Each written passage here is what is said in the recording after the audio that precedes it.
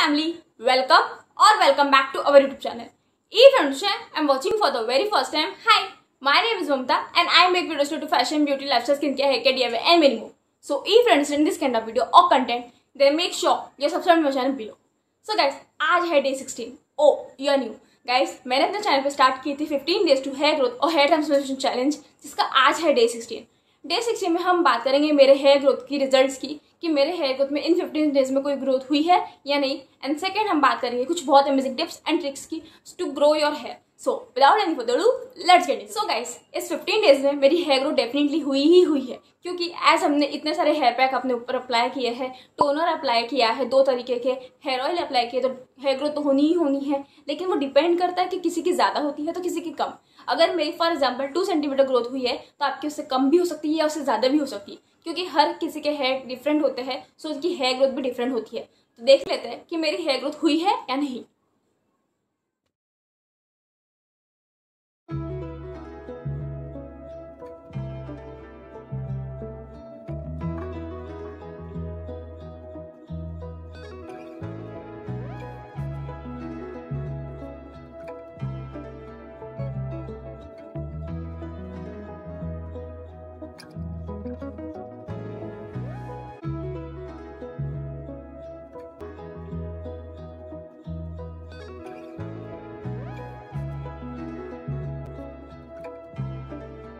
Guys जैसा कि आपने देखा कि मेरी हेयर ग्रोथ डेफिनेटली हुई हुई है। बिफोर फिफ्टीन डेज़ मेरी जो हेयर ग्रोथ थी, वो थी fifty five centimetre but after fifteen days मेरी जो हेयर ग्रोथ हुई थी, वो थी fifty seven centimetre which is two centimetre in fifteen days अब आप सोच रहे होंगे, इतने सारे हेयर पैक लगाने के बाद, इतना टोनर लगाने के बाद, इतना ऑयल लगाने के बाद, सिर्फ़ टू सेंटीमीटर हेयर ग्रोथ तो मैं आपको फिर से एक इमेज पॉपअप कर दे रही हूँ। हमने जैसे डे सेवन में सर्च किया था कि वन मंथ में कितनी हेयर ग्रोथ होती है एवरेज तो हमें लिख के आया था वन पॉइंट टू सेंटीमीटर लेकिन यहाँ पे हमारी फिफ्टीन डेज़ में टू सेंटीमीटर हुई है। अगर आपकी हेयर ग्रोथ ज़्यादा भी हो सकती है मेरे से और मेरे से कम भी हो सकती है, इस सीरीज़ में आपको एक चीज़ डेफिनेटली पता चली होगी कि आपका हेयर फॉल स्टॉप हुआ ही हुआ है। आपके जो हेयर है बहुत ज़्यादा शाइनी मैनेजेबल एंड सॉफ्टर लग रहे होंगे, बहुत ज़्यादा फ्रिज फ्री लग रहे होंगे एंड स्प्लिट एंड्स तो बिल्कुल एकदम कम हो गए होंगे। एंड आपके जो हेयर ग्रोथ है वो भी बूस्टअप हो गया होगा।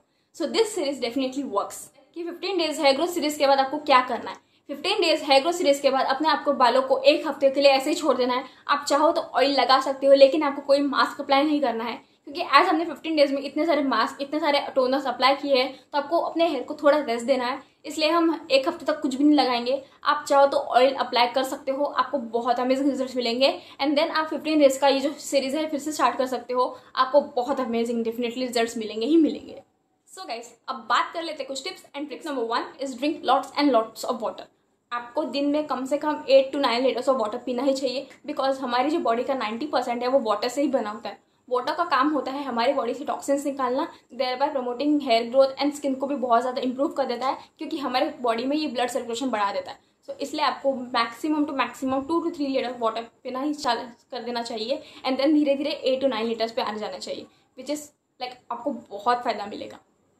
टिप नंबर टू ये है कि आपको अपने डाइट में फ्लैक्स सीड्स आलमंड्स या सनफ्लावर सीड्स इंक्लूड करना चाहिए बिकॉज़ उसमें होते हैं ओमेगा थ्री फैटी एसिड्स जो आपके हेयर ग्रोथ को प्रमोट करता है एंड कुछ ऐसे विटामिन ई e, जो आपके हेयर ग्रोथ को डेफिनेटली प्रमोट करता है एंड हेयर फॉल को भी रोक देता है ये आपके हेयर को शाइनी बनाता है. सो so, आपको अपने डाइट में फ्लैक्स सीड्स या तो फिर आलमंड्स या तो फिर आप वॉलनट्स या तो फिर आप सनफ्लावर सीड्स इंक्लूड कर सकते हो ये भी आपके हेयर ग्रोथ को डेफिनेटली प्रमोट करेगा ही करेगा. टिप नंबर थ्री आपको कभी भी वाइट टूथ कोम यूज़ करना चाहिए टू डिटेंगल योर हेयर आपको, क्योंकि उससे जो हेयर फॉल है वो कम होता है एंड हेयर ब्रेकेज भी कम होता है। सो मेक श्योर करना कि है, हमेशा व्हाइट टूथ कॉम यूज़ करें। अगर आपको नहीं पता कि कौन सा तो मैं आप इमेज पॉपअप कर दूँगी। सो दैट आपको पता चल जाए कि आपको व्हाइट टूथ कॉम यूज़ करना है टू डिटेंगल योर हेयर क्योंकि इससे हेयर ब्रेकेज कम होती है एंड आपके हेयर ग्रोथ भी प्रमोट होता है। Tip number four start using wooden comb wooden comb की वजह से जो हेयर ब्रेकेज है वो कम होता है एज उसका जो फ्रिक्शन है, हमारे हेयर से कम होता है देर बाय वो आपके हेयर ग्रोथ प्रमोट करता है एंड हेयर फॉल को भी रोकता है। यह आपके हेयर को थिकर बनाता है एंड सॉफ्ट भी बनाता है। वन टाइम इन्वेस्टमेंट है डू ट्राई बहुत अमेजिंग रिज़ल्ट मिलेंगे। Tip number five use room temperature water to wash your hair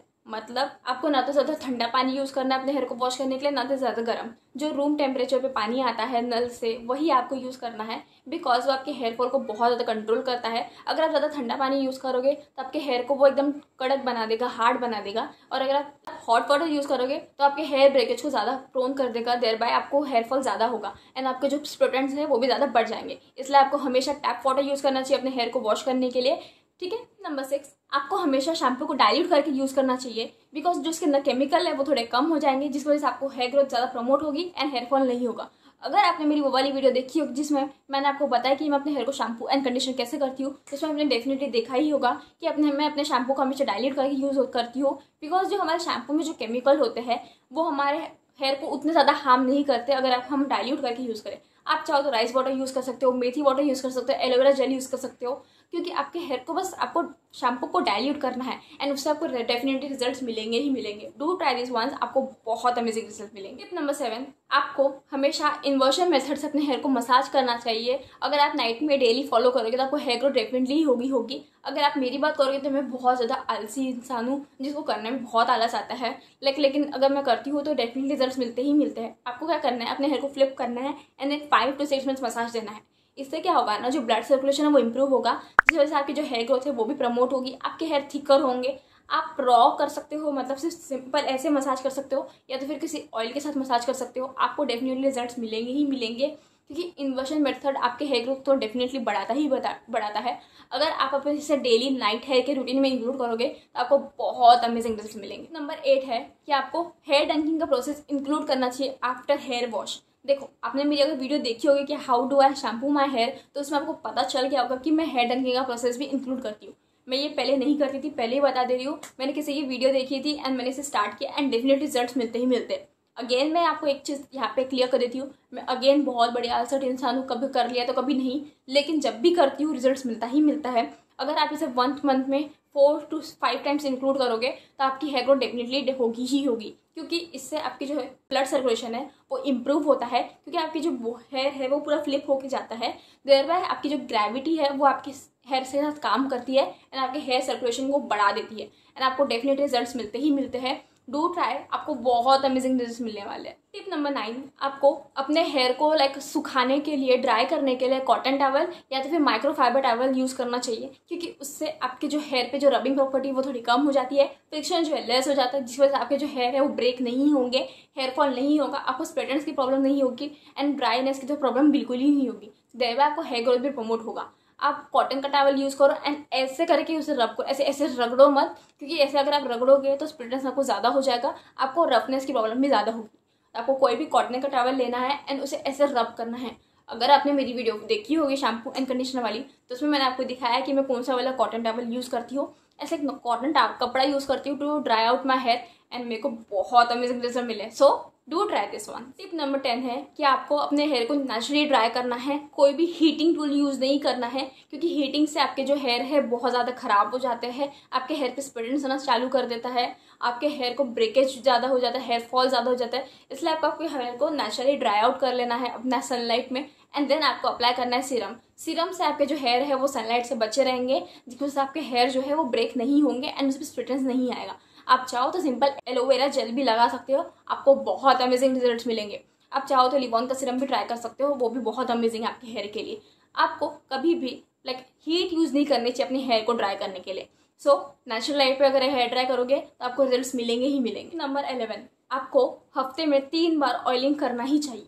क्योंकि ऑयल से आपके हेयर जो है वो नरिश रहते हैं, आपका जो स्कैल्प है वो नरिश रहता है, जिसकी वजह से आपके हेयर ग्रोथ प्रमोट होता है। हम सबने सुना है कि जो हेयर ग्रोथ है वो स्कैल्प से होती है या रूट से होती है तो आपको ऑयल से वो आप उसको वो नेसेसरी फ़ूड पहुँचा रहे हो, जो आपको आपके नेचुरल डाइट से नहीं मिलती है। अगर आप ऑयल अपने नेचुरल डाइट में ऐड कर दोगे ना मतलब आप खाना भी खाओ एंड ऑयल भी लगाओ तो आपको सुपर अमेजिंग रिज़ल्ट मिलेंगे। तो आपको हफ़्ते में तीन बार ऑयलिंग करना चाहिए। आप चाहो तो coconut oil castor oil almond oil olive oil argan oil से हेयर ऑयल करो, आपको बहुत अमेजिंग रिज़ल्ट मिलेंगे। आप चाहो तो मेरा डी हेयर ऑयल भी यूज़ कर सकते हो, उससे भी बहुत अमेजिंग रिज़ल्ट मिलते हैं।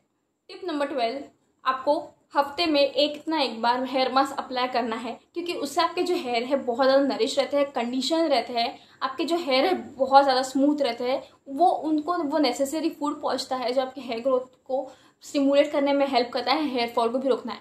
आप चाहो तो ओनियन हेयर मास्क यूज़ कर सकते हो फेनिग्रिक हेयर मास्क यूज़ कर सकते हो राइस हेयर मास्क यूज़ कर सकते हो फ्लैक्सीड हेयर मास्क यूज़ सकते हो। हमने जो इतने पंद्रह दिनों में यूज़ कर सकते हो, वो भी आप डेफिनेटली यूज़ कर सकते हैं एंड आपको बहुत अमेजिंग रिज़ल्ट मिलते हैं। टिप नंबर थर्टीन इसमें आपको अपने हेयर को नीचे से कोम करना स्टार्ट करना है, ऊपर से नहीं, ऊपर से करोगे तो आपके हेयर फॉल ज़्यादा होगा, आपके जो हेयर जो गूंद गए हैं या टैंगल्ड हो गए हैं, वो एकदम ही गुच्छे में बाहर आ जाएगा। इसलिए आपको कभी भी अपने हेयर को ऐसे पकड़ना है एंड नीचे से कोम करना स्टार्ट करना है। इससे जो हेयर ब्रेकेज है वो भी कम होता है एंड आपके हेयर पे शाइन भी रहता है। नंबर फोर्टीन आपको अपने हेयर को कभी भी ज़्यादा टाइट नहीं बांधना चाहिए ना तो कभी लूज अगर आप टाइट बांधोगे तो आपको सर दर्द होगा जिस वजह से जो हेयर ब्रेकेज है वो ज़्यादा होगा, और अगर आप लूज बांधोगे तो भी हेयर ब्रेकेज होगा, क्योंकि आपके जो हेयर है वो सारे बाहर आ जाएँगे जिस वजह से वो टैंगल्ड हो जाएँगे तो आपका हेयर ब्रेकेज ज़्यादा होगा।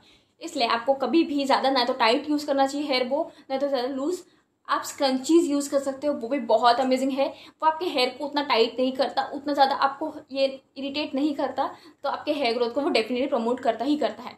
Tip number fifteen start pre conditioning your hair pre conditioning का मतलब यह है कि हेयर ऑयल लगाने से पहले आपको अपने हेयर को एलोवेरा जेल से मसाज करना है।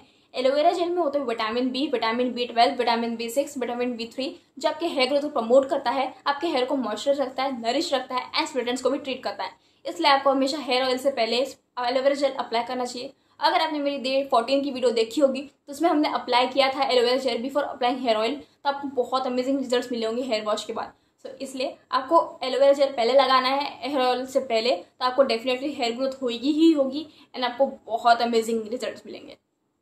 Last but not the least tip number sixteen include rice water in your hair care routine rice water में होते हैं कुछ ऐसे अमाइनो एसिड्स या विटामिन या प्रोटीन्स जो आपके हेयर ग्रोथ को प्रमोट करता है आपके हेयर को शाइनी बनाता है आपके हेयर को तो डेफिनेटली प्रमोट करता है हेयर फॉल को रोकता है स्मूथर बनाता है शाइनर बनाता है। ये एक नेचुरल कंडीशनर का काम होता है इसलिए include rice water in your hair care routine आपको डेफिनेटली अमेजिंग रिज़ल्ट मिलेंगे ही गाइस दैट्स फॉर ऑल बहुत मज़ा आया मुझे fifteen days hair growth series करने में। अगर आपको भी मज़ा आया please let me know in comment section guys आज की वीडियो बस ये थी। वीडियो पसंद आ गई प्लीज़ वीडियो को लाइक करना मत भूलना। चैनल पर नहीं हो चैनल सब्सक्राइब करना मत भूलना।